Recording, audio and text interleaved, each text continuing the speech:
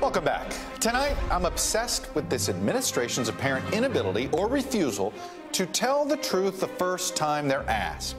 All presidents and all administrations shade and shape the truth to their own advantage. But what we're seeing now is of a different order of magnitude. And today's grudging acknowledgement that President Trump did help draft his son's statement about his meeting with a group of Russians after denying exactly that is just the latest example of this administration's taste, shall we say, for fake news. The following statements are simply from recent appearances on the Sunday version of Meet the Press. Can you tell me about the reports that the president was involved in the initial response that Donald Trump Jr. gave the New York Times?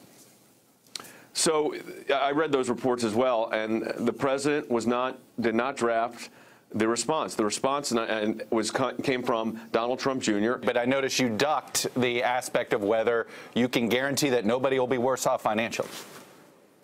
Uh, I, I, firmly believe that, that, that nobody will be worse off financially in this in the process that we're going through, understanding that they'll have choices that they can select the kind of coverage that they want for themselves and for their family. I have talked to General Flynn. None of that uh, came up. Uh, the, none, the subject matter of uh, sanctions or the actions taken by the Obama administration did not come up in the conversation. So there was no challenge of American policy currently by Mr. Flynn with the Russian None. ambassador. Answer the question of why the president asked the White House press secretary to come out in front of the podium for the first time and utter a falsehood. Why did he do that? It undermines the credibility of the entire White House press office no, on doesn't. day don't one. Be so, don't be so overly dramatic about it, Chuck. What it, it, you're saying it's a falsehood, and they're giving Sean Spicer, our press secretary, gave alternative facts to that. Look, in these and other cases, what the administration said ended up being demonstrably wrong. Not a shade of it, not a way to spin it. It just was flat out wrong. Now, did the people say what they believed to be true at the time? Did they mislead unintentionally? Did they mislead intentionally?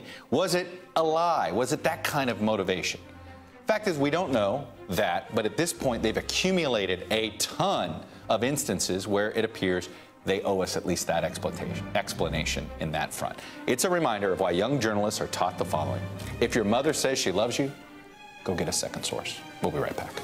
Hey there, I'm Chris Hayes from MSNBC. Thanks for watching MSNBC on YouTube. If you want to keep up to date with the videos we're putting out, you can click subscribe just below me or click over on this list to see lots of other great videos.